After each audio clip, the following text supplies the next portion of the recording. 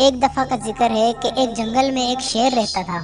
एक दिन वो शेर सो रहा था कि अचानक एक चूहा आ गया और शेर के बालों में घुसकर खेलने लगा। अचानक शेर की आँख खुल गई। इसने चूहे को पकड़ लिया। चूहा डर गया। वो शेर से मिन्नत करने लगा कि मुझे छोड़ दो। मैं आइंदा ऐसा नहीं करूँगा। शेर को इस पर रहम आ गया। इसने चूहे को छोड़ दिया। चूहा जाते जाते शेर से कहने लगा कि मैं इस एहसान का बदला ज़रूर दूँगा। शेर हंस पड़ा। एक दिन कुछ शिकारी जंगल में आ गए। उन्होंने जाल डाल दिया। शेर पकड़ा गया। वहाँ अचानक ही चूहा आ गया। इसने अपने दांतों से जाल काट दिया। इस तरह शेर आज़ाद हो गया। शेर ने चूहे का शुक्रिया अदा किया। चूहे ने कहा कि कोई बात नहीं। एक दिन आपने मेरी मदद की थी। आज मैंने आपकी मदद की। इसमें शुक्रिया की क्या बात है?